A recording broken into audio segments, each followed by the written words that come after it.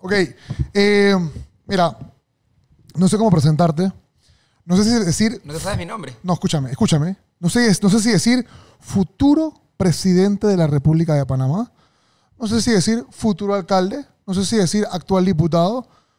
Dime, ¿cómo, cómo, cómo tú crees que te debería presentar? Digamos del hoy. Deloy, mi nuevo amigo, Diego, bienvenido. Oye, muy feliz de tenerte aquí. Quiero darle gracias a la gente de producción que hizo esto posible. Eh, pero bueno, mira, empecemos con lo que a mí me interesa saber. Te he visto en muchas entrevistas, te he visto en muchos programas muy políticos. Quiero saber un poquito más de tu historia. ¿ok? Hermano, ¿cómo tú terminas siendo tan joven, 26 años creo que tienes, siendo una figura tan, ojo, voy a decir po- positiva, eh, pero tan disruptiva de este país? Cuéntame para ver. Bueno, esa es una pregunta complicada. Yo creo que el Juan Diego, que hoy es el Juan Diego político, el diputado, se hizo en gran parte en la escuela, tal vez el nacimiento, la ¿Qué escuela? semilla en el Pan American, eh, y termina como de formarse como líder en la universidad, en la USMA, cuando estudié Derecho. Yo desde que estuve en la escuela, yo tuve la oportunidad de pertenecer al club de debate. Ujú. Y poquito después de que entramos al club de debate, la escuela decidió participar en este programa que nunca en la escuela había participado, me parece, que se llama Asamblea Juvenil, que es un programa de la Asamblea, el Meduca y el Tribunal Electoral como para incentivar a los pelados entre cuarto y sexto año de media a que entiendan esto de votar, esto de como una campaña, cómo uno participa como candidato y como elector, y qué es la asamblea, porque esa edad tal vez uno no sabe, ¿no? Claro. ¿Qué es la asamblea? Y bueno, y me- en la escuela los profesores me pedían que por favor que participara, que fuera candidato. Fuimos 18 candidatos. Esa fue una elección en la que votaban como 115, 120 personas, que era lo que había en una escuela pequeña. Al menos en ese momento ha crecido un poco. De esos 120 votos, yo saqué como el 70%, entre 18 candidatos, 18 o 20 candidatos. Y entonces yo de allí salgo a una elección eh, circuital en San Miguelito, porque mi escuela está en San Miguelito, donde yo soy diputado ahorita.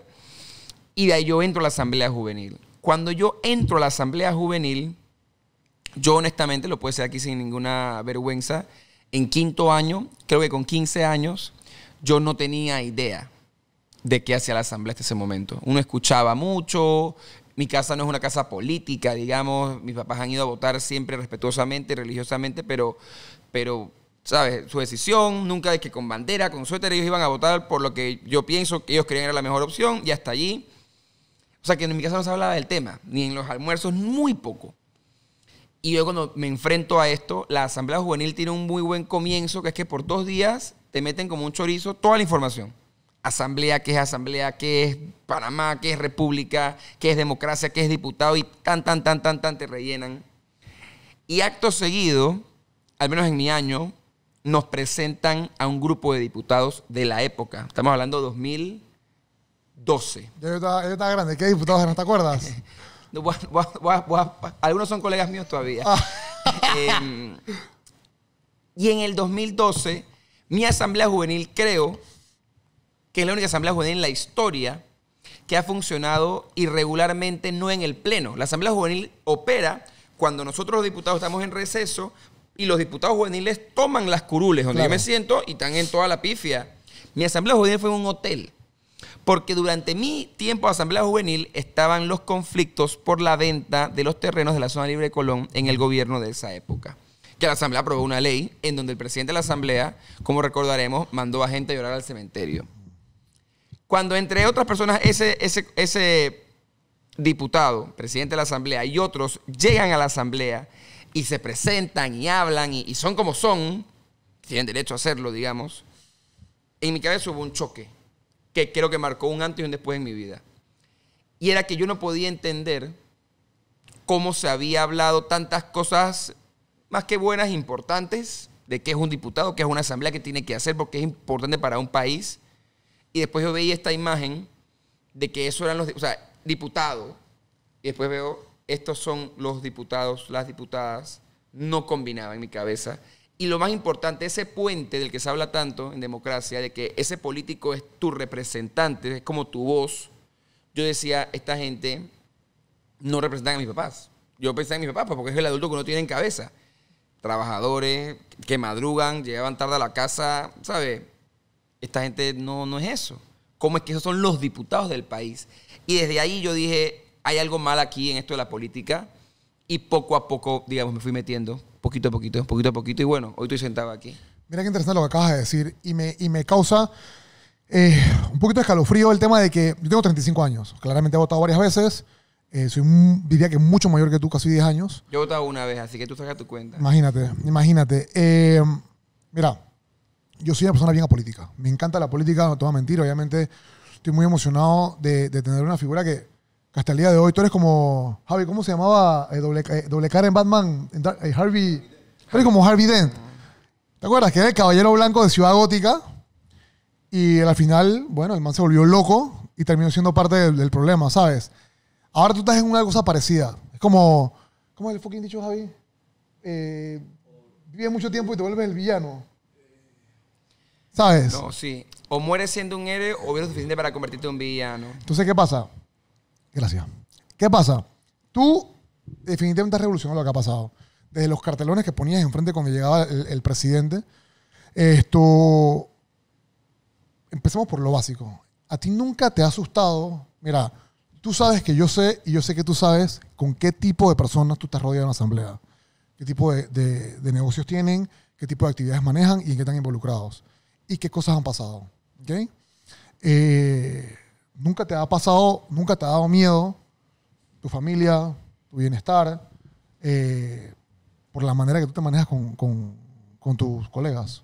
Mira, la verdad, no niego ese nivel de conciencia del que tú hablas, de entender a qué yo me enfrento, a quiénes yo me enfrento.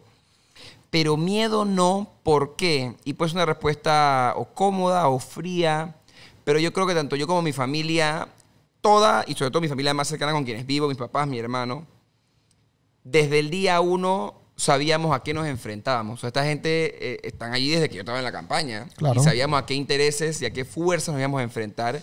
Y hubo, hubo y hay algunas situaciones, digamos, que se han presentado que generan alguna incomodidad o preocupación. Pero yo tengo muy claro, uno, qué estoy haciendo.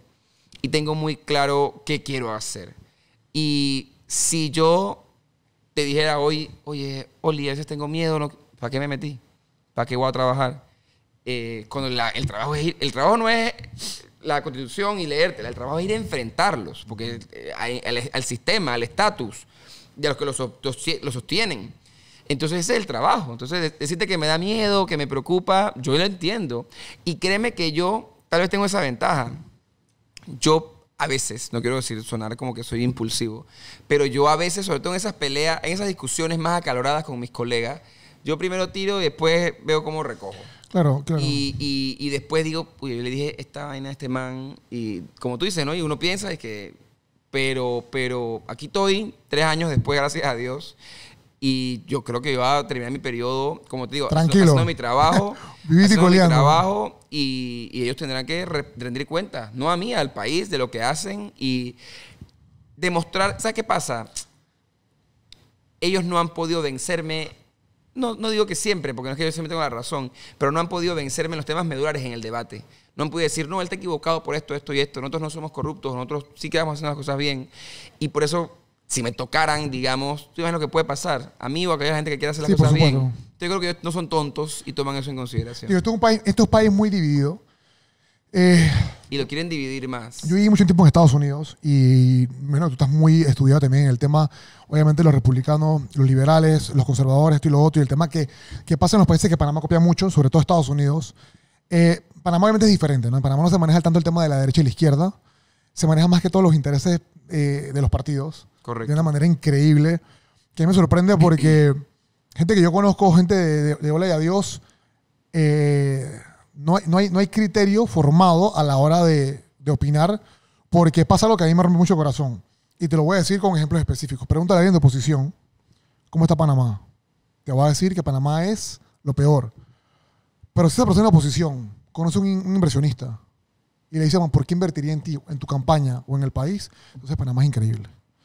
Cuando Oliver Mesa, hipotéticamente, se tira para diputado, se tira para representante, se tira lo que sea, y queda como oposición, o yo pertenezco a una familia, inmediatamente mucho panameño ya quiere que le salga mal todo el gobierno.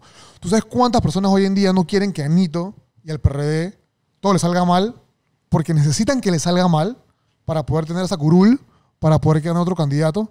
¿Cómo tú puedes, te lo digo porque tú eres la que se metió en esa vaina, no yo, cómo tú puedes vencer ese pensamiento que en Latinoamérica es súper común? Lo primero que te digo aquí, y lo he dicho muchas veces, yo quiero que al presidente le vaya bien. Por supuesto. Y yo quiero que al presidente le vaya bien porque al país le va a ir bien. Y, lo, y siempre acompaña esa frase de, y yo no voté por él. Y no votaría por él. Sin embargo, si a él le va bien, el país le va bien. Y yo estoy aquí, entre otras cosas, para que el país esté mejor. Entonces, ¿cómo puedo pensar o creer que a él le vaya mal o que él haga cosas malas? Y, como, y luego aquí también, como lo he hecho en varias otras ocasiones, y en el momento en que el presidente quiera trabajar en algo que yo creo que el país necesita, que el país requiere, que cuente conmigo al 100% del tiempo. Como panameño, como abogado, como criminólogo, como diputado, lo que él crea que yo le puedo servir para que el país ande bien, cuente conmigo. Pero hasta el sol de hoy, ni yo lo he llamado nunca, ni creo que él nunca me ha llamado a mí. Pasó una... ah. Y, y yo creo que la forma de vencer esa forma de hacer política tradicionalmente, como tú dices, en la, en la región, tiene que ver con dónde ponemos nuestros intereses. O de dónde nace esa, esa, esa picazón por meterse en esto. Y yo no estoy en esto ni para sacar plata, ni estoy en esto para escalar políticamente, ni estoy en esto como parte de un gran plan orquestado para que en 15 o 10 años tú o yo o ella o él sean presidentes o lo que sea, ni para buscar un gran negocio, una mina, una, Claro. nada de eso, sino porque creo que había un espacio para aportar, como los hay muchos, creo que yo tenía lo que aportar y digamos que la gente decidió que sí, quería, mi gente que votó por mí decidió verme aportando y yo estoy allí. Y yo cuando pueda servirle al país, y lo he hecho en fundaciones, más de una decena, lo he hecho desde la escuela, en la universidad y mu- muchas cosas que la gente no sabe que yo hago por, porque es mi compromiso. Yo me di Claro. cuenta desde muy joven que quiero ayudar, hay mil formas de hacerlo y al menos en esta etapa de mi vida estoy en esta y vamos a ver cómo sale. Algo que a mí me gusta mucho de Estados Unidos y de otros países, que a mí no me gusta en Panamá, cómo la gente trata, es que independientemente de, de tocas decir, independientemente de quién sea el presidente del país, a mí me gusta como le dicen Mr. President. Porque al final, ese señor o esa persona que esté es el que nos representa. O sea, no me gusta cuando el panameño o el, o el latino siempre se refiere a los políticos como de forma despectiva. Ese man, o eh, Cortizo tiene que hacer tal cosa. Eh, me gusta cuando en otros países le dicen Mr. President o lo que sea, porque, man, al final, estás hablando de tu presidente, él nos representa como tú dices, quieras Así o no. es. Mira, me parece muy interesante la parte tuya. Yo sé un poquito de tu background. Esto, hay mucha gente, yo no creo que sea, no, obviamente no es para quitarte mérito ni nada, pero yo no creo que sea tan complicado, si eres una buena persona hoy en día, quedar como representante o diputado o un puesto público. Lo que pasa es que De acuerdo. ¿Cuántos papás? O tú fuiste a la USMA, yo también fui a la USMA, yo, fui yo estoy en Latina, pero, yo gradué en Latina, pero yo fui a la USMA también. Eh, ¿Cuántos papás que tienen esas, esos panameños que son, vamos a decir, con un poquito más de nivel de educación, con un poquito más de moral, la mayoría le dicen, "Man, no te metas a política, estás loco, ¿cómo te vas a meter a política? Nos van a ventilar. ¿Cómo tú vas a traer con ese poco de X, maleantes, lo que sea entre comillas? Esto, y tiene sentido, o sea, como padre, como yo, man. Tú me preguntas a mí si mi hijo quisiera que mi hijo peleara. Yo no quisiera que mi hijo peleara. Yo lo amo y lo adoro, pero yo no quisiera que mi hijo le pegara ni que tuviera que hacer lo que yo hago. Claro. ¿Qué tú le dices a esos papás, a esos futuros papás, porque tenemos rantan amigos que están embarazados jóvenes, saludos a mis amigos. ¿Qué tú le dices a esos papás? Brother, inviten a sus hijos a que se metan en política. Mira, yo estoy seguro que el tema es invitarlos. Yo creo que tú lo dijiste y hay que hacer una distinción aquí bien importante. Y con el proceso que hemos estado llevando, dila, con dila. el tema de vamos, hay que aclarar ese tema. Yo sin duda conozco mucha gente buena en, en mi vida. Yo creo que he tenido la suerte de conocer más gente buena que mala y, de, y sobre todo de quedarme y rodearme con más gente buena que mala. Pero no toda la gente buena puede ser política. Porque como dijiste, el tema no es, el tema no es hacerlo bien. Esa es una parte del proceso. El tema es llegar. El tema es sobrevivir. El tema es aguantar, estar allí, al menos digamos en mis condiciones. Tal vez si uno fuera a ser diputado en Finlandia, ahí sí lo puede hacer cualquier buena persona con capacidad. Pero ser diputado en Panamá, buen diputado en oposición contra un gobierno que tiene 40 diputados y consigue los otros los otros partidos cuando los quiere, no es sencillo. Entonces sí requiere un poquito más que ser buena gente y no, y no es para darme a mí mérito, sino porque sí es necesario entender que lamentablemente de buenas intenciones está lleno el camino al infierno a veces. Claro. Hay que tener cuidado en que se busca y el trabajo al final es un trabajo serio, como todos en su justa dimensión, pero es un trabajo serio. En cuanto a lo de promoverlo, yo no te diría, y lo digo muchas veces, yo cuando tengo esta clase de conversaciones, que sé que escucha gente joven y gente que va a ser papá, y gente que ya es papá, y gente que ya es abuela, o, pelados bien, bien pelados, yo nunca he querido llegar a una escuela que me ha tocado hablar, voy a estar pronto en una universidad en Santiago, etcétera, y decirle a la gente, bueno, todos tienen que ser diputados. Pues esa no es la solución. La solución es que todos entendamos el problema y entendamos qué rol vamos a jugar dentro de eso. ¿Por qué? ¿Qué me, qué me importaría más a mí que tus amigos que van a ser papás y mamás no tengan hijos corruptos? Porque esos hay, yo creo que más fuera de la asamblea que en la asamblea, que los hay. Pero hay más afuera que adentro. Y hay gente corrupta dando clases, hay gente corrupta dirigiendo empresas multinacionales, hay gente corrupta en la presidencia, en los ministerios, en la asamblea, en las juntas comunales, en la alcaldía, pero también dirigiendo gimnasios. Alguien tiene que haber. Por supuesto. Entonces, lo que te quiere decir es que más necesita el país, y no que no necesite, pero más necesita el país, gente buena y punto en todas partes, haciendo de todo, siendo papás y mamás también, que, que alguien corra o no corra diputado. Y yo te digo algo, yo creo que, y tú lo has dicho, el temor o la preocupación es natural. Mis papás la tuvieron por un, un corto periodo de tiempo, pero la tuvieron. Cuando yo en lo que dije es que, hey, busca los papeles. Ellos como cualquier locura mía, que siempre me apoyan, ellos dije, como que, como que no, como que no, como que los que los busque. Cuando vieron que tenían los papeles y que, que, que el libro de firmas, dije, hola, hay que me firman. Ya fue, dije, que tú en serio, de que me sentaron. Eso yo creo que nunca me ha pasado. Dije, que tú en serio vas a hacer esto, sabes lo que significa. Eh, y aunque no estaban tan convencidos por como te expliqué cómo son, son personas súper calladas, súper tranquilas. Como te digo, no son tontos de nadie, siempre han peleado por lo suyo, pero a su manera muy bajo perfil. Y esto evidentemente les ha cambiado un poco la vida. Eh, no fue fácil, pero me han apoyado toda la distancia. Y yo por eso te digo, hay que criar, y yo creo que mis papás criaron a un buen ciudadano, no a un buen diputado, un buen ciudadano, y ese entonces puede ser, con algunas capacidades, soy abogado, un buen diputado.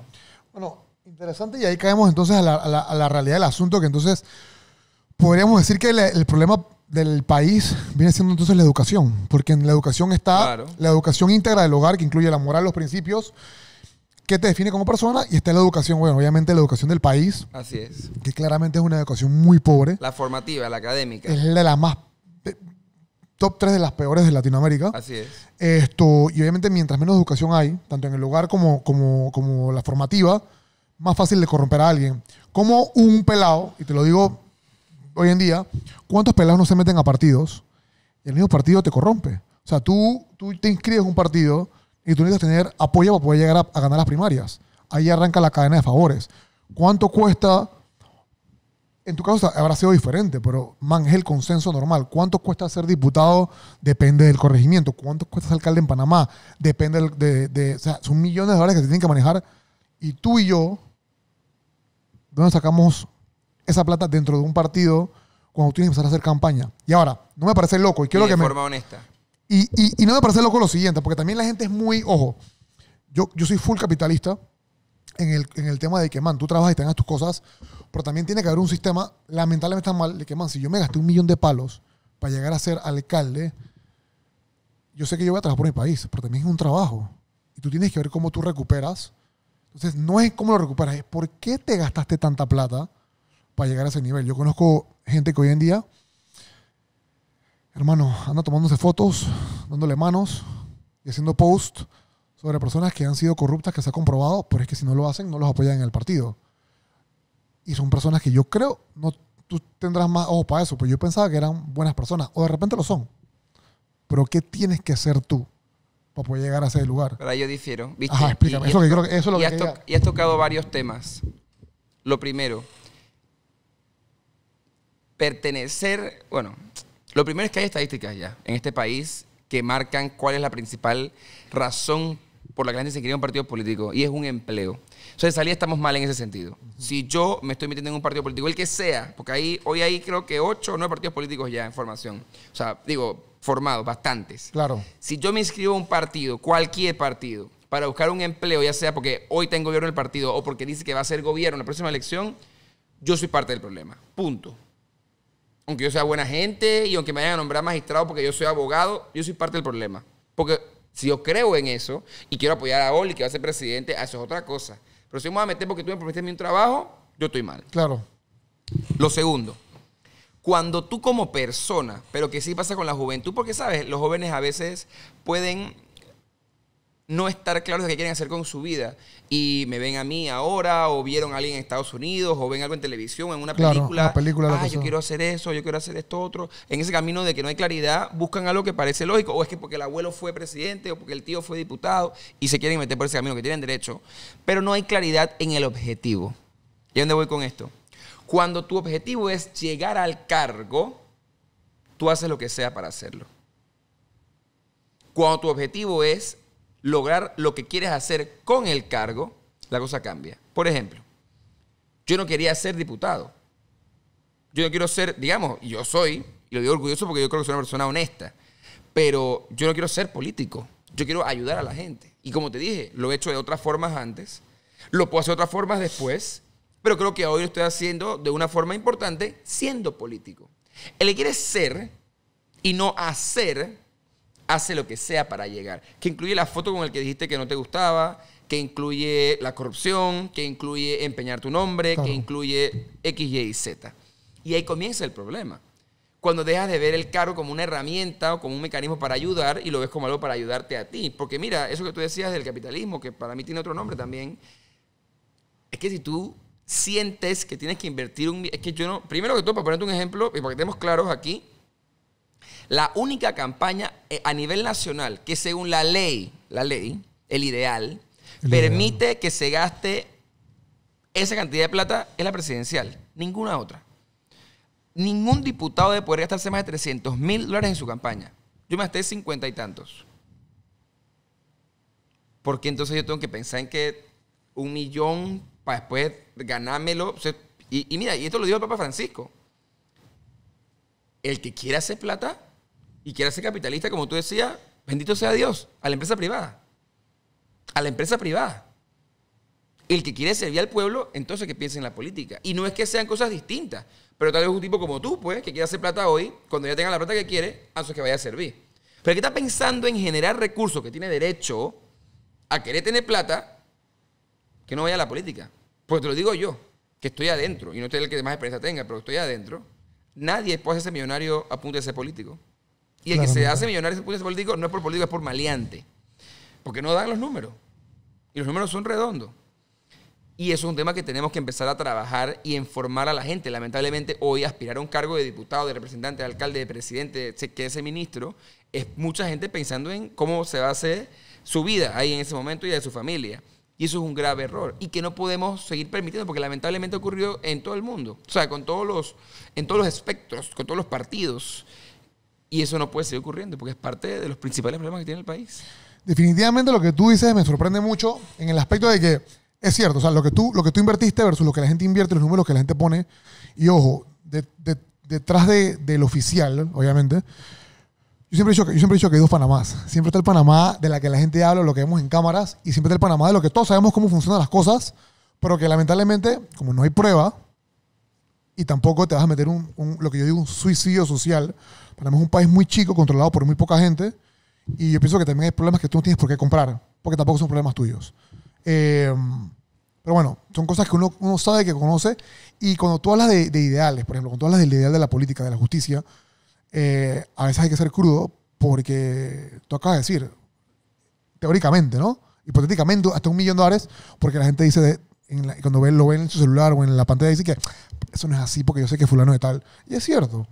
Eh, es muy duro, muy duro ver un país eh, también. Yo no quiero sonar, eh, pero es un país muy básico. Panamá es un país muy básico. Tú lo viste, la vez pasada lo escuché, lo he hecho varias veces tú. ¿Cómo culpar a la gente que recibe una bolsa de comida? ¿Cómo culpar a una gente que recibe esto y lo otro? Vamos a la educación. Esto. Hay países de África, países de Asia. Singapur es un ejemplo. eh, que han hecho gobiernos casi dictatoriales No, casi no. para poder lograr un cambio económico y lograr un cambio social. Eh, ciertas generaciones le ha pasado factura ese trato. Ciertos políticos han tenido que renunciar a la fuerza. Eh, casi que el ministerio, lo que se llama el ministerio de gobierno, es controlado por, la, por el ejecutivo totalmente. es como dicen, siempre pongo a tu mejor amigo a manejar la plata y otro mejor amigo a manejar la policía. Eh, eso lo dicen la gente que hace vainas de dictadores, no, eso no es algo de política. ¿Cómo con el- la ley actual tú cambias este país? Mira, esa es una pregunta compleja y que no tengo la respuesta, digamos, la verdad absoluta. Pero hay dos realidades. Uno, sí, yo creo que ¿Tú opinas que eso estuvo mal, para empezar? Lo que hicieron estos países de esa manera. sí, o sea, y no estuvo mal en el fondo, estuvo mal en la forma. El fin no justifica los medios en algunos casos. es que yo creo que tal vez en algunos casos, porque primero que todo en política, yo creo que más que en política, en política es, eso es gente. Claro. Política es gente. Uno busca el voto con la gente, uno trabaja con gente, uno quiere lograr cosas para la gente, gente, gente. Y la gente no hay blancos y negros.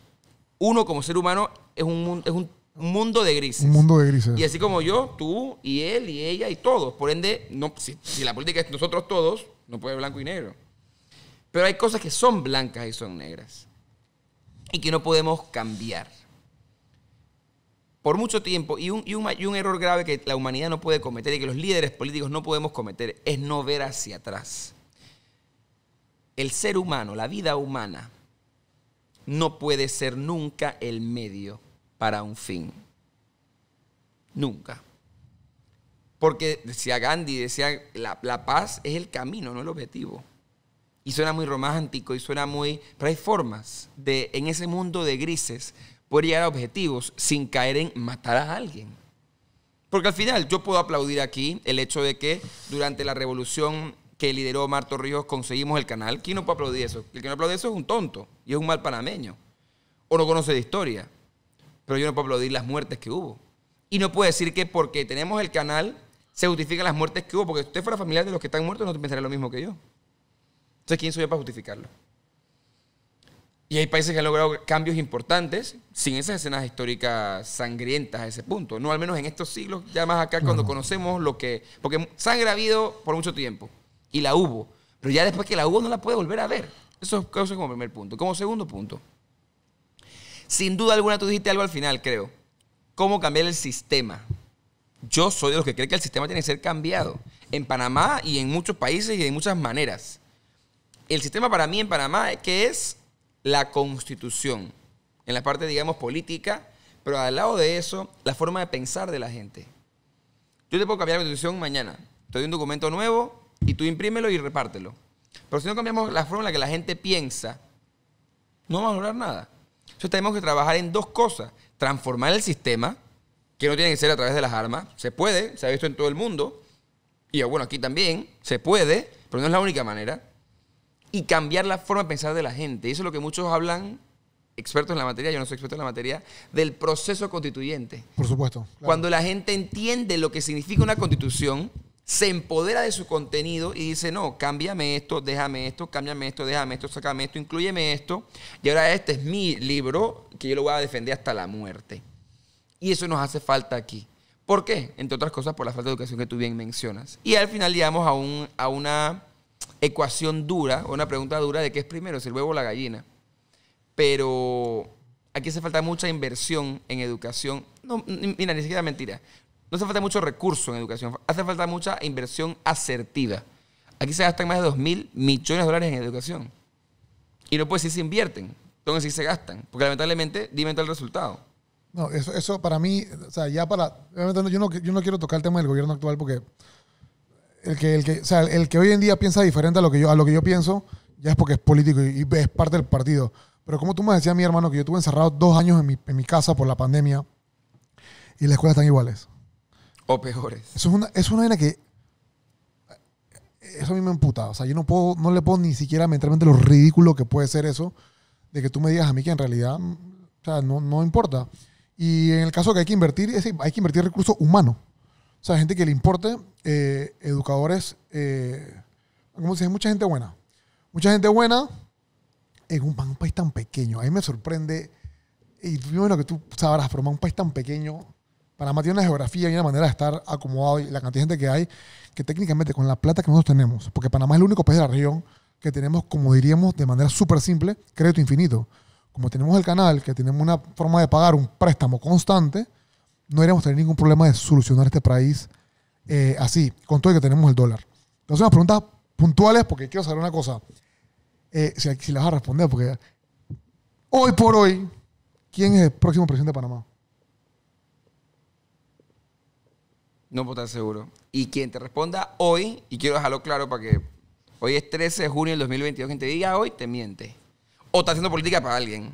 Y yo ni te voy a mentir, ni le voy a hacer política a nadie en este momento. Eh, ¿Qué tipo de presidente necesita Panamá? Panamá necesita a una persona que venga a liderar, como te dije antes, pensando de verdad en cómo transformar el país. Pero los panameños tenemos que entender que esa persona no es ni Superman ni la Mujer Maravilla. Y que para eso hay que entender que el proceso que requiere el país no es de cinco años. ¿Qué te quiero decir? Queremos, ¿Qué queremos escuchar? Y yo lo entiendo. Queremos escuchar que mañana la economía vuelve y sube como estaba antes de la pandemia, en, así, en un, en un chasquido. Que viene la línea 3, 4, 5 y 6 del metro. Que todas las escuelas vamos a hacerlas nuevas. Y que, te van a meter- y que ¿cómo es que dice uno? Que le van a meter chen chen en el bolsillo. Pero ¿cómo? ¿Cómo? Y te digo algo, yo lo digo muchas veces porque no me da pena. Yo soy algo he ido a la asamblea y que he estado eh, entendiendo mucho mejor el tema de la economía. La economía del país está bastante golpeada. Y yo creo que cada uno lo ve en su casa y en su bolsillo. No puede venir alguien a decirte que va a ser A, B, C, D y E y que pienses tú que lo va a cumplir. Entonces, lamentablemente, entre la persona que el país necesita y la persona que nos merecemos y la persona que el país quiere, puede haber una distorsión entre una y otra. Y por eso lo importante es entender a quién necesitamos. Y también es importante que la gente entienda, y estoy de acuerdo con todo lo que acabas de decir, también es importante que la gente entienda, y tú, me imagino que como diputado sufres mucho, no sé si la puedes sufrir, vamos a corregir, de repente pasas mucho por esto, que es que yo le digo a la gente, se lo digo a todo el mundo, y, y yo como clase media empresarial que doy trabajo y tengo otras empresas, yo le he pasado muy mal porque la gente de bajos recursos son los que tienen los subsidios, son los que tienen lo- lo- la plata esta que te meten en una tarjeta, el- ¿cómo se llama esa vaina? En la cédula, el vale. El vale, a mí no me ha dado vale, a mí no me dan subsidios, yo no soy transportista, yo, yo tengo que pagar mi gasolina full. Eh, a mí la DGI me tiene así siempre porque la clase media carga este país y cada vez somos menos. Porque tienes dos, tienes dos, corre- o dos te haces millonario o, te haces pobre. Porque es lo que pasa con Latinoamérica y con nosotros. Eh, y, la- y en cuanto, a, la- y en cuanto a, lo que tú dices del, presidente, es lo que digo a la gente. Mucha gente, no, ni- importa quién quede presidente, no importa si queda Superman presidente, al final todo depende de nosotros. Sobre tu opinión en este tema, un tema ya un poquito separado. Mira, ha habido mucho problema a nivel de redes sociales. Yo digo redes sociales porque esa es la nueva realidad, ¿no? En cuanto a las minorías. O sea, están los problemas entre eh, las feministas y los hombres. Están el problema de los LGTBQ con no sé qué quién. Están en Estados Unidos los negros y los blancos. Están esto y lo otro. Esto, pero la realidad es que en Panamá hay algo diferente. Yo no creo que existan minorías. Tú no puedes decir que yo por ser hombre, Oliver Mesa, 35, blanco, panameño, es igual que fulano de tal, hipotéticamente, venezolano, con un año en Panamá sin papeles. O sea, todos tenemos una microindividualidad en este país. Y todos tenemos diferentes issues. ¿ok? ¿Qué pasa por tu cabeza cuando te escuchas algo como Panamá para los panameños? Mira, lo primero es que entender el tema este de, la- de las minorías, yo creo que primero el término minoría en este momento es falso. O sea, no porque, Claro, 100%. porque en algunos casos, ojo. Porque, por ejemplo, hay más, yo creo que en este momento hay más mujeres que hombres. Entonces, las mujeres son una, no, no son una minoría. Hay minorías, que sí son minorías. Pero lo que hay, y sí hay, y no, y como tú decías, no sé si eso te referías, hay personas en condición de vulnerabilidad. Eso es lo que yo me refería, literal. Que puede ser un hombre blanco, panameño, de 35 años, como tú, ser una- un hombre en condición de vulnerabilidad, depende de las cosas que viva, pero tú hoy no lo eres. Pero puede haber alguien con tus mismas características, igualito a ti, que sí lo es. O sea, el ser hombre o el ser mujer o el ser A o ser B no necesariamente te pone en vulnerabilidad, pero sí tenemos que reconocer que hay grupos específicos que pueden estar marginalizados por la justicia, por la economía, por la sociedad, por diferentes razones. ¿Qué yo eh, pienso cuando escucho Panamá para los panameños? Miren, yo entiendo perfectamente bien de dónde nace el sentimiento ese en el que pensamos o en el que se piensa, porque yo no lo pienso, que hay personas que han venido de afuera a quitarnos lo nuestro. Lo primero, y por más duro que suene, es que hay que recordar y reconocer que en nuestro escudo, que es nuestro escudo, dice promundi beneficio. Y esa fue la idea que tuvieron nuestros fundadores en 1903 y 1904 cuando se dio todo el proceso de, de la gesta y la aprobación de este escudo.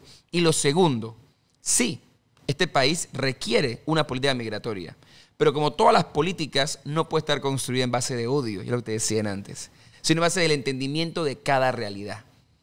¿Qué debe hacer este país? Lo que tenga que hacer para asegurar que la situación en Nicaragua y en Venezuela sea mejor de la que hay hoy.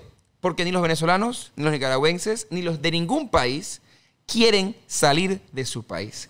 Y mientras podamos a través de relaciones exteriores, como Panamá lo ha hecho históricamente, garantizar que en esos países haya al menos democracia, como no la hay hoy ni en Nicaragua ni en Venezuela, por ende va a poder haber mejores calidad de vida, vamos a poder mitigar lo que está ocurriendo. Pero no se queda, no, no, no, no, no termina allí. El paso de migrantes ilegales o irregulares por nuestras fronteras. También es un problema de relaciones exteriores, porque no hemos podido conversar con Costa Rica y con Colombia, que iremos a los lados, para poder ponernos de acuerdo, porque al final muy pocos de los que pasan por aquí quieren quedarse aquí, quieren ir para el norte. Eso está estudiado. Si no llegamos a un acuerdo, pasa como la pandemia. Colombia no los, no los paraba y los dejaba pasar, o sea que era una, una pluma de agua que tiraba agua. 100%. Y Costa Rica dijo, aquí no pasa uno más. Darien se volvió literalmente un tapón. Y tuvimos una crisis humanitaria. Pero que no era culpa nuestra. Y que yo creo que se intentó trabajar en la medida de lo posible. Hubo errores que no hay que permitir y hay que no repetir como ordenan las normas internacionales de derechos humanos. Sin embargo, ¿cómo se resolvía? Oiga, Colombia, venga acá. Costa Rica, venga acá. Todos estamos mal, pero es un problema compartido. Vamos a ver cómo vemos el tema. Esta es gente. Pues ese es el tema. Olvidamos eso a veces. Estamos hablando de gente, de personas humanas, como tú y como yo y que estamos, y que y eso es lo otro, ¿no? ¿Qué son esos países? Cuando, cuando la Tierra surgió y se hizo la Pangea, ahora en, los últimos cambios importantes, esas líneas que nosotros hemos dibujado existían. Sí, son, líneas, no. son líneas ficticias, ¿no? Entonces, esas líneas ficticias que nos hacen querer dividirnos cuando en verdad estamos unidos por la raza, es lo que yo creo que tenemos que poder dejar a un lado y poder asegurar algo que sí es importante y que el país no ha asegurado, los gobernantes no han asegurado, y es que todos vamos a estar bien. Los que estamos en Panamá, panameños o no vamos a estar bien. Y eso es lo que es fundamental. O sea, una lucha, y estoy de acuerdo con lo que acaba de decir nuevamente, tengo una lucha porque ahí es donde viene el pensamiento crítico del panameño. El panameño tiene que pensar, por empezar, que desde el punto de vista económico, la llegada a Panamá es un país con muy poquita gente. O sea, realmente Panamá está... Si tú pasas el, puente de las Américas y pasas lo que es Chorrera, Panamá está... O sea, falta por desarrollar un pocotón de país. Eh, Panamá realmente tiene dos, dos ciudades, digamos, más o menos, ¿no? David y Panamá como tal. Eh, Colón más. Ah, entonces, ¿qué pasa? Eso, no, eso te, te, lo iba a mencionar, pero necesitamos gente que pague impuestos, gente que esté aquí. Además de eso, de que el problema tiene que ser bien crítico, y esto es una opinión mía, eh, obviamente. Eh, man, pónganse a pensar ya en su casa, o cuando esté viendo esta cosa, ¿quién ha afectado más al país? ¿Un extranjero o un nacional? Man, son, un millón de, son, son millones de los panameños corruptos que le han tenido al país, no extranjeros. Gastar energía, emplear en, fantasmas. Obviamente ahí en el punto que hay que tener cuidado con el activismo actual, es una opinión mía también, porque crear estos fantasmas de problemas, crear estos enemigos falsos, fascismo. para unir, para unir personas y, y, ahuyentarnos del problema real, hoy en día es increíble. Mira, ha pasado con, este tema de los Black Lives Matter y pasó también con el Me Too Movement y un poco de locuras que tienen gente peleando en la calle y la gente que controla el, el activismo se forra de plata porque y ha pasado mucho, por ejemplo, que no voy a decir un ejemplo específico porque no quiero un ejemplo específico, pero, man, arrancan campañas, invierten millones de dólares, hacen millones de actividades, pasan 5 años, 10 años, y cuando van a presentar las cifras, estamos peor. Entonces, yo creo que el panameño, creo que la clave de la solución de todo arranca del pensamiento crítico, el pensamiento de atreverte a cuestionar a quien tú idolatras. Porque aquí hay muchas personas que tienen políticos como héroes, y hermano, lo que esa persona diga es misa. Y yo creo que hasta en tu, hasta en tu caso, te gusta que tu, que tu curul te pregunte, te cuestione, porque quiere decir que están poniendo atención, quiere decir que están escuchando, quiere decir que les importa realmente. Y es un problema, pues, de, educación. Ahora, caigamos algo más reciente. El país está arrebatado, hermano, porque dijiste que no te vas a reelegir. Hmm. Eso suena. Yo sé, tengo, tengo, te puedo entender. Eh, te puedo entender porque yo puedo decir, man, qué locura.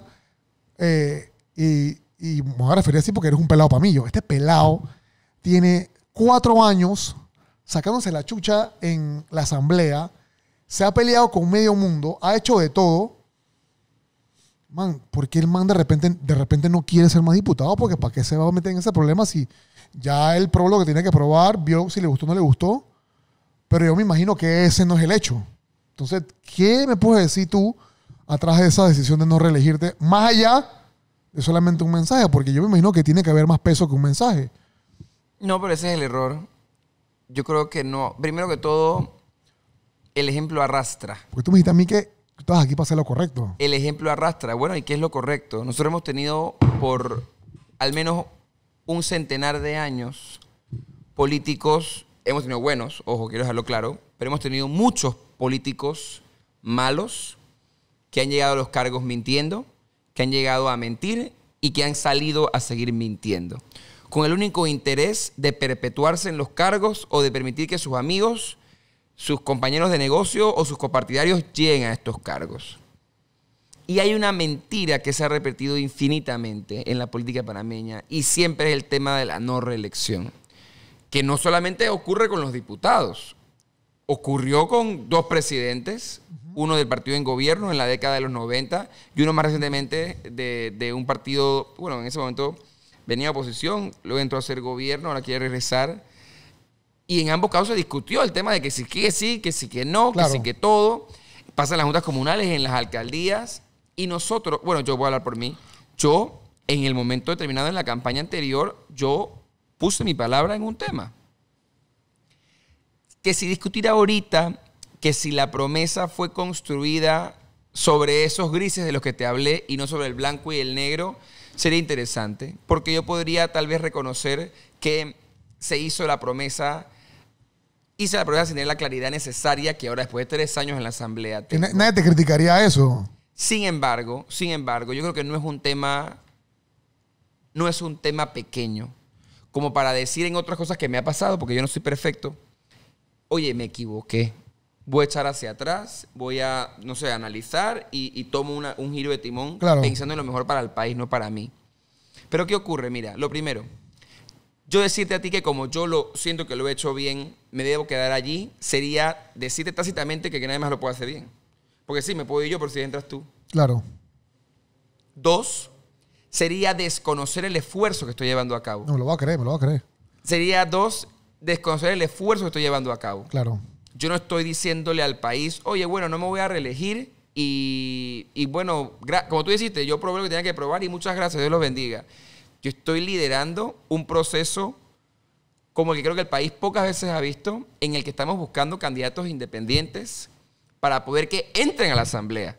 Por ende no estoy diciendo, dije, bueno, me voy y agarro mis cosas y me voy. No, yo estoy invirtiendo tiempo, recursos, e- intelecto, estamos sumando gente para meter a más gente, para que yo pueda decir en este momento, porque además es en este momento, yo no voy a correr en este momento de diputado.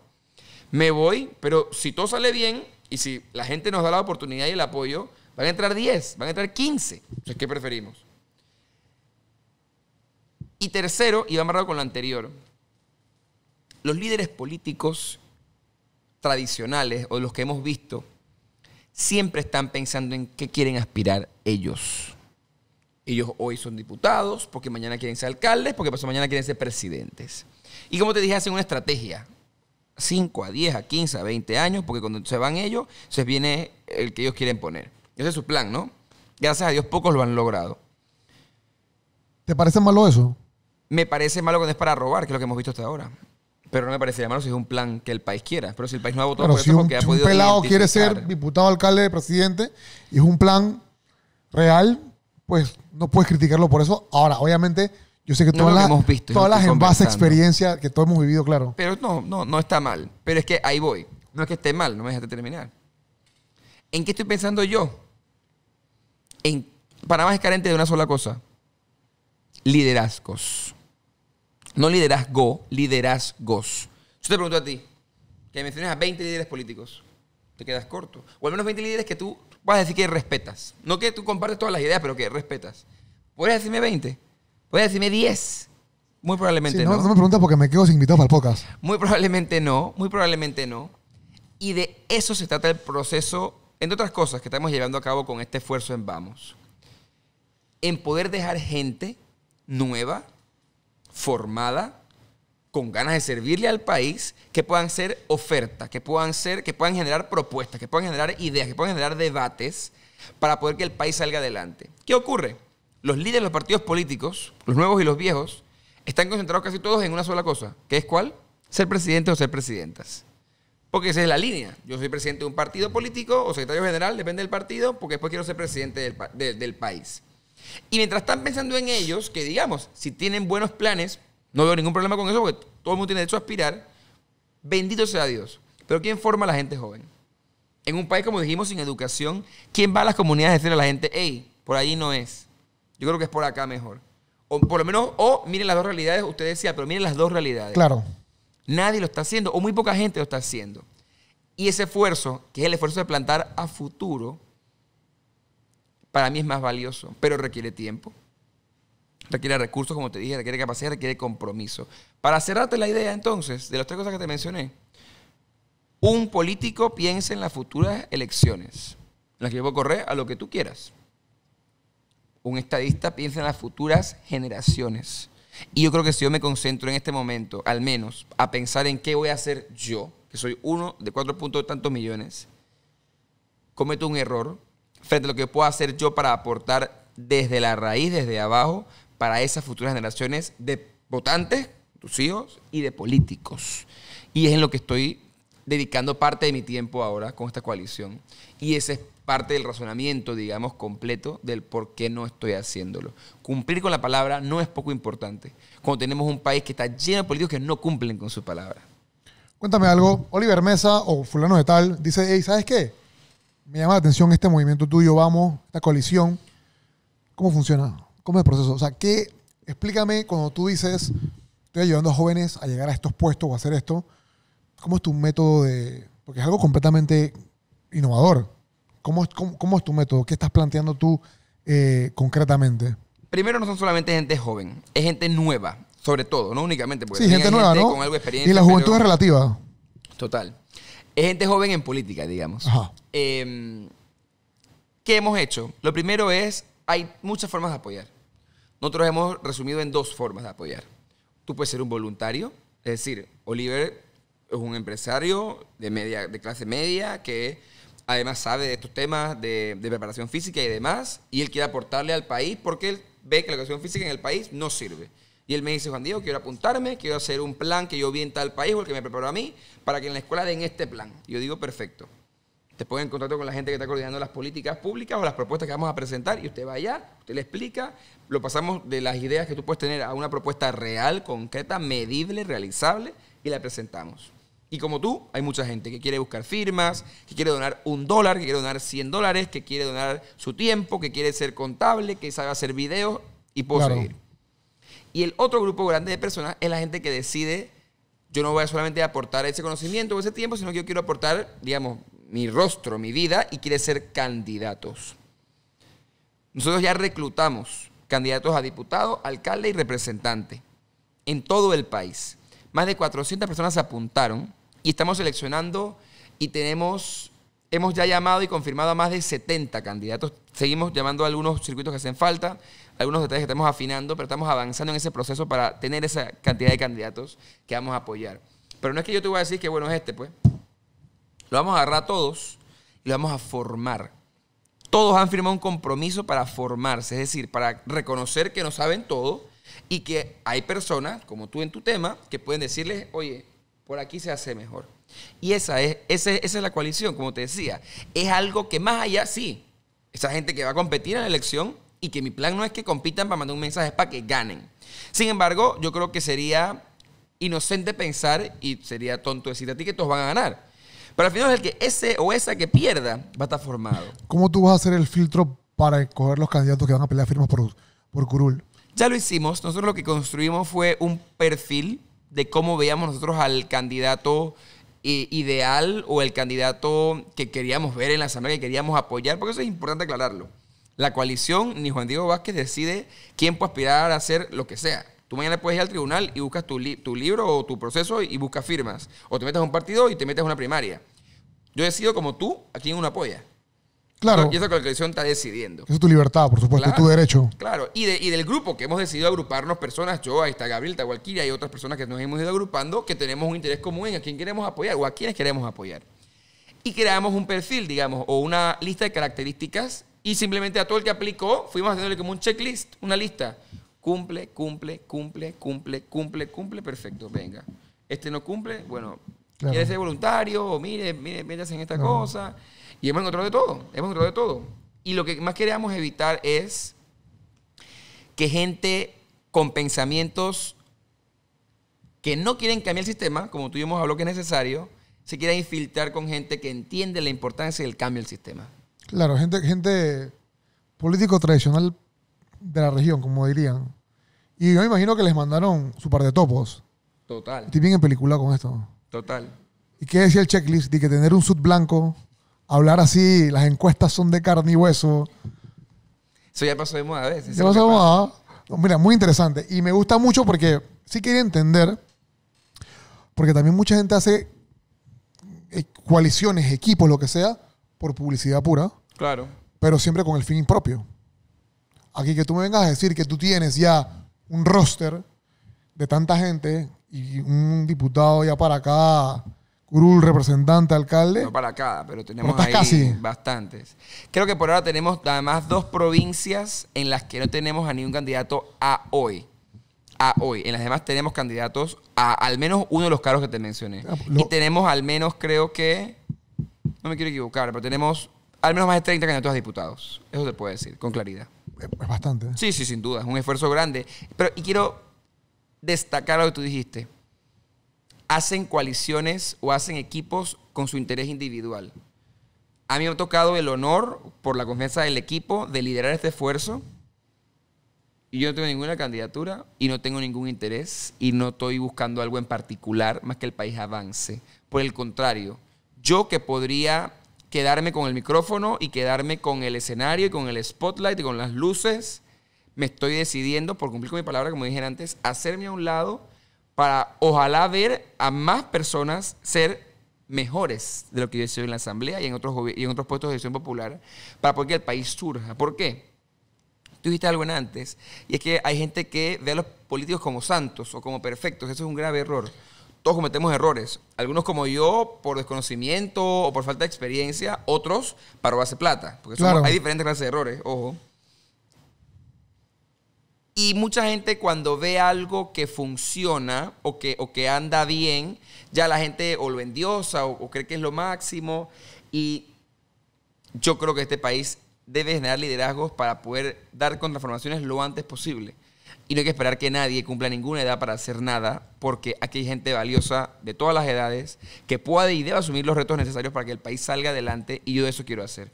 Potenciar a personas para que puedan servirle al país. Constitucionalmente, ¿cuál tú crees que sería el cambio más importante que necesitamos? ¿Una segunda vuelta? No, no creo que sea ese. Eh, ese sería un cambio muy interesante. Pero yo creo que podemos ir más allá. Mira, yo creo que hay que analizar un cambio a un sistema tal vez parlamentario, en el que haya mucho más control de la gente dentro de la democracia. Mira, uno de los éxitos para mí de algunos de los países parlamentarios es que la gran, part- gran parte del gobierno está sujeta a, a cambios. Por claro, ejemplo, claro.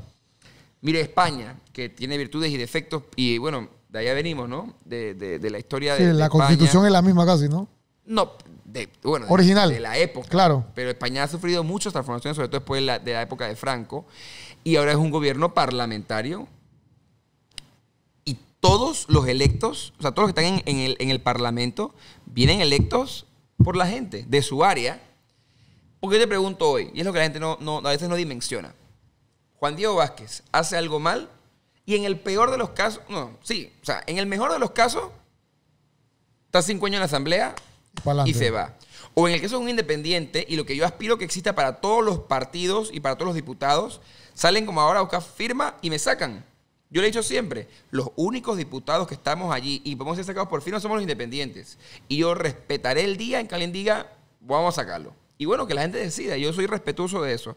El que me puso me debe poder sacar. Pero si yo soy ministro y me nombra un presidente, para no decir que es este, pues un presidente, porque soy su compa, porque yo le doné, porque soy amigo de la hija, porque me como, lo que sea. que aquí de todo lo que se ve, ¿quién me saca de ahí? Nadie, hermano. Y mira todo lo que. Y mira todo. Y mira, y mira cargos específicos en este y todos los gobiernos. No hacen, no hacen, no hacen. Hay quejas, hay quejas. Y nadie los mueve. Nadie los mueve. Porque no están puestos allí por nada más que un compromiso. Que el presidente, que no se puede reelegir, no pierde nada dejándote ahí. Él, que es un ministro, nadie le reclama nada, capaz que no va ni al trabajo y él va a estar ahí cobrando, haciendo, deshaciendo. Pero el diputado, ese no aguanta eso, porque quiere volver, porque quiere volver. Entonces, darle más oportunidad de votar a la gente, más democracia siempre es mejor. Y por eso yo creo que hay que tomar otras medidas. Pero para responderte, a ver, mira, un cambio que la gente cree que es tonto, pero que es un compromiso que Panamá no ha cumplido. La educación en Panamá es obligatoria hasta noveno. Debe ir hasta duodécimo. Y debe incluir con mucho ímpetu e hincapié la primera infancia. Los primeros 100 días de un niño o de una niña son trascendentales en su desarrollo. Y hoy no estamos tan alineados en eso como deberíamos, como de educación, sobre todo en la educación pública. Sí, claro. Y eso es lo que nos No tiene con problemas de educación primaria, de inseguridad, entre otras cosas. Y yo creo que eso sería para mí un cambio, tal vez no el único, por supuesto que no el único, pero un cambio importante que la gente puede entender y que es fundamental es ese. Que la educación venga con fuerza desde el primer día del niño hasta el duodécimo al menos y poder fomentar una educación universitaria además mucho más accesible a la gente. No, definitivamente que la educación, estamos claros que es el pilar de todo y más en este país. Juan Diego, y ya para ir concretando, eh, porque vas a tener que volver definitivamente, tenemos mucho que hablar tú y yo. Fuera de la política, ¿a ti qué te gusta hacer? Ahora, que- la ahora- ahora que política. vas a agarrar vacaciones en lo que apoya a los pelados, dime, ¿para qué vas a aprovechar tu tiempo? ¿Vacaciones? Esa, esa juventud que tú tienes, hermano, Yo cuéntame. tengo son unas cajas aquí, no las estás viendo. que No, no, no, tenía te, antes. te digo una. Yo también no tengo te- una por acá no nada tenía más. antes de entrar a la asamblea. Mira, a mí en el tiempo que puedo sacar para mí me gusta estar con mi familia, con quien la paso excelente. Me gusta parquear con mis amistades. Me gusta, digamos, si estoy solo o si hay algo para hacer yo. Yo juego eh, videojuegos. Me gusta ver ¿Qué- qué- series. qué juegas? ¿Computadora, películas, PlayStation, leer. Xbox? Eh, tengo un PlayStation y tengo un Nintendo Switch. No sabes lo feliz que me acabas de hacer porque tengo una guerra eterna porque soy PlayStation también. Y yo peleo con mis amigos que tienen Xbox. Yo no conozco a nadie que tenga Xbox. Hermano, dale, continúa. Dale. Em, em, ¿Qué más leo? Yo creo que más que nada eso. A veces me, me- me pongo a hacer una que otra cosa. Que yo jugamos dodgeball. Ah, Yo soy el campeón nacional de dodgeball, quiero que sepas. ¿serio? O sea, tenemos que tenemos, tenemos un atleta. Eh, de alto rendimiento. sí, sí, sí. Élite. Em, y sí, un poquito de todo para mantenerme entretenido. Pero más que nada eso que te dije. Ver series, estar con mi familia, leer, jugar videojuegos, para relajar un poco la mente. y la rumba. No deja mucho tiempo. ¿Cómo tienes 25 Como años? te dije, para ir con mis amigos, ¿no? Ah, ese es tu parqueo con tus amigos. Claro. Es que eso sonó como más así como tipo fogate, echamos cuentos. Bueno, pero tú no echas cuenta cuando vas a la rumba. Yo nunca, yo soy, un- yo soy, no, nunca has rumbeado? ¿Qué ibas a no, decir? no, no hablemos de mí porque yo soy un man muy, ay, la vida. Es verdad, estaba discutiendo con Puni por esa vaina. La gente no me cree. Yo estoy bien tostado de salida. Yo nunca he tomado porque, porque siempre he sido atleta. Pero yo estoy bien tostado, hermano. ¿Cómo así? ¿Cómo así? O sea, tú nunca has tomado una pinta. No, yo no tomo. Eso es lo que yo te pregunté. Nunca has tomado una O pinta. sea, mira, la pelea pasada, te a contar una cosa. La pelea pasada que tuve, eh, fuimos a celebrar después, semana después. Yo cumplía a medianoche. Sea, yo cumplía a las 12. y Después de tu pelea. Después, el sábado, el sábado que siguió. Y fuimos a tomando los tragos y vaina, ¿no? Discoteca que nos las, nos las prestaron privadas para que no, tú sabes, eh, tipo diputado, pues, ¿sabes? Cérrame ese local. Ah, a mí no me hacen eso. Eso me tienes que Ajá. invitarme. Sí, no, te voy a invitar. videos bailando en todos Ah, lados. Estaba invitada. Y, hermano, no eran ni las 10 de la noche. Y yo me había tomado como tres, tres cervezas y como dos shots. Yo estaba hasta la guacha y yo le decía a mis amigos de que "Ey, no va a llegar mi cumpleaños. Y estaba triste. No va a llegar. Yo tengo cero aguante de guaro. Pero bueno, la verdad que tú vas a coger vacaciones de, de, de ser diputado. No tengo vacaciones. Señor, pues, vamos a tener algo. Mira, si- tú sabes que yo te voy a decir, yo como experto en el tema ¿En qué tema? ¿De, las de o salud, de salud, Ah, de salud. ¿Tú viste cómo entró, cómo salió Obama de su presidencia? terrible. Tú tienes que, el, el estrés. Porque, mira, si tú entras a la asamblea y tú eres con unos colegas tuyos que van ahí a echar cuentos, a reírse, O que no van. a parquear o que no van, somos están igualitos, un poquito más subidos de peso porque la comida está ahí, tú sabes, no las pares y la vaina. Pero si tú sales ahí, tú vas a trabajar, y tú vas a guerrear, y tú vas a criar pelado para que sea en el futuro de Panamá. Tú, tú a los 28 vas a estar como si estuvieras 40. Y me lo digas mucho. Si yo te recomiendo a ti, claramente, que tú tienes que coger, eh, y, y yo te lo voy a recordar cada rato, tú tienes que coger más actividades personales para ti que te hagan. Mira, eso de jugar juegos de video es súper importante. Eso te relaja, te desconecta, pelear con tus amigos me parece muy bien. Y creo que, igual que a mí, la clave, y eso me, me tiene muy feliz, porque eso, mira, el que no tuvo esto, que aprenda y ahora lo sea, la familia, man. Tú dijiste lo que me encantó al comienzo, mi, tía, mi familia apoya en todo, a mí también. Y yo creo que esa es la clave para que la gente haga cosas grandiosas, porque eh, a mí me da miedo, muchas cosas me dan miedo en la vida. Igual las hago. Y las hago porque yo sé que pase lo que pase, mis papás tienen my back, como dicen. Tú no has tenido una familia así, entonces tú tienes que ser para tus hijos Claro. esa clase de familia. Bueno, algún último mensaje que tú quieras dejarle a tu, a tu, a tu pueblo, a tu futuro pueblo. No sé, yo te, te- mira, me parece muy, muy interesante. Eres un, un hombre muy maduro, muy, muy responsable. Me sorprende mucho esto, todo lo que has hecho. A mí me encanta la política. Nunca he pensado ser político, pero me gusta mucho la política. Me gusta mucho la política internacional. Así que estoy claro en las cosas que, que has hecho en los temas y esto. Te va a gustar hasta que entres. No, no, por eso que no voy a entrar, para que me siga gustando. Es como, lo mismo, lo mismo digo si pelearas. Ajá. El, el- el único, el único que yo, ah, sí, por eso es jodiendo. Es que yo hago encuestas a rato que para qué, me, para qué me tiro yo. Pero bueno, me has quitado, me, me has dado mucho ánimo de apoyarte en, en- en apoyar a los pelados que vienen y todo. Gracias. Esto, mira que sí te veo como, como un, un buen futuro líder. Yo espero que tú, no sé, tomes este tiempo para, para hacer lo que quieres hacer con tu, con, tu, con tu movimiento y en un futuro de repente aceptes el, el reto de, de ser líder de más personas de Panamá. Y si no, pues también que seas feliz en todo lo que quieras hacer. No sé, dale un mensaje a la cámara ahí para el pueblo, así, No, al final, que mira, lo primero es que hay que entender algo. Yo no, yo no decido si voy a ser presidente, ni decido si voy a reelegirme. Uno, uno, uno aspira. Una aspira, Y la claro. gente es la que decide. Y si en algún momento de mi vida la gente cree que yo puedo servirles desde la presidencia o cualquier otro lugar, yo lo voy a hacer con mucho gusto. Y- y- Porque sí me siento comprometido con servirle al país. Pero para eso hay que hacer, ¿sabes? Hay que hacer las cosas bien. Yo no, quiero, yo no voy a hacer porque, ah, porque Oliver me dijo, porque la gente me pide. Yo no voy a llegar allá como los que han llegado, como el que está, a no hacer las cosas bien o al menos como prometen.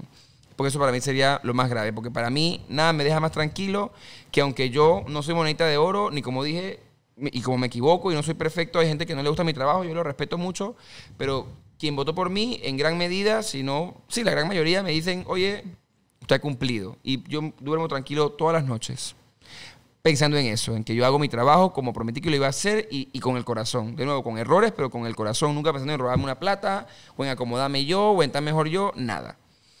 Y ese es el mensaje, mira, que salgamos y hagamos las cosas bien, porque el país lo necesita. Y yo creo que el país necesita gente aportando positivamente en muchos lugares, no solamente en la política, pero también necesita que la gente entienda esto de la política, cómo involucrarse, cómo apoyar, cómo estar pendiente. Y eso nos requiere a todos. Este país nos requiere a todos. No requiere a una persona, requiere un equipo de personas. Y ese equipo no es nosotros dos. Somos un equipo de personas que podemos ser todos, que debemos ser todos. Claro. Remando en una sola dirección, que tiene que ser que el país salga adelante. Educación, empleo, medicamentos, seguro social. Y la lista es larguísima. Y no lo vamos a resolver ningún gobierno, ni con una sola idea, ni un solo pensamiento. Y por eso requiere que todos trabajemos en equipo. Que nos preparemos para ser los mejores para mí que podemos ser. Y como decía en su momento Kennedy, ¿no?